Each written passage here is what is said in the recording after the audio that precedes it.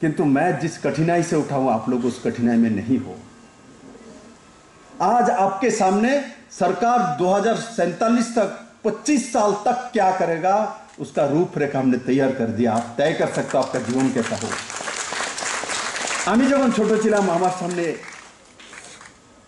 এমন ভবিষ্যতের কোনো রূপরেখা ছিল না আজকে ত্রিপুরা ছেলেমেয়ের সামনে আমরা পঞ্চাশ বছর পূর্তি উপলক্ষে অমিত ভাই শাহকে দিয়ে সেটা শুরুয়াত করিয়েছি যে আগামী পঁচিশ বছরে কোন কোন সেক্টরে কি কি কাজ হবে আমার ছেলেমেয়েরা জানবে, জেনে যাবে, আর ওই হিসাবে সে পড়াশোনা করতে পারবে যে আমি ওখানে গেলে রোজগার পাবো, এখানে গেলে এটা করতে পারব। তার কাছে ক্লিয়ার পঁচিশ বছরের চিত্রটা তুলে ধরে রেখেছি বন্ধুরা। আগে তার ব্যবস্থা ছিল না। তাই আমি বলব, এই পঁচিশ বছরের আমরা কি কি করব তার রূপরেখাটা ওয়েবসাইট থেকে বের করে নিয়ে দেখা। বোঝা ওই হিসাবে নিজের জীবনকে তৈরি করা। আমি ডাক্তার হব, না ইঞ্জিনিয়ার হব, না কন্ট্রাক্টর হব, না বিজনেস করব, না রেস্টুরেন্ট চালাবো, সেই হিসাবে নিজেকে প্রস্তুত করা। তার রূপরেখা তৈরি হয়ে গেছে। তাই আমি বলব আরেকটা বিষয়, যে মুখ্যমন্ত্রী টুইট আর পেজটা দেখা। তবেই তো বুঝতে পারবেন ত্রিপুরা কোথায় যাচ্ছে। আমি সেখানে আমার পেজের মধ্যে বসে বিজেপিকে ভোট দেন, ওকে ভোট দেন না, এগুলি লিখি না।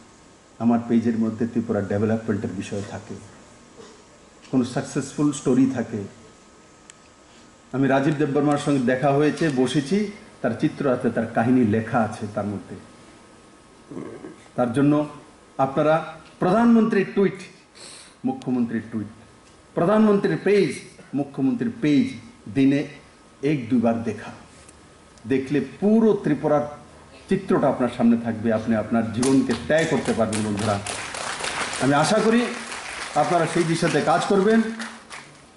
আর যে একশো আশিটা এনজিও মিলে এই কাজগুলো করছে, এরা যাতে আগামী দিন আরও সুন্দরভাবে কাজ করতে পারে, তার সঙ্গে সরকার থাকবে। আপনারা ভালো কাজ করছেন। আরও বেশি ভালো কীভাবে করা যায়, সরকারের সুযোগ সুবিধাগুলো কীভাবে আমার ছেলেমেয়েরা পেতে পারে, তার রাস্তা আরও সুন্দর করে তৈরি করা। তবেই সুন্দর ত্রিপুরা যে রাস্তা আমরা তৈরি করেছি, সেটা খুব তাড়াতাড়ি আমরা আমাদের যে মূল বিন্দু সেখানে আমরা পৌঁছতে পারব।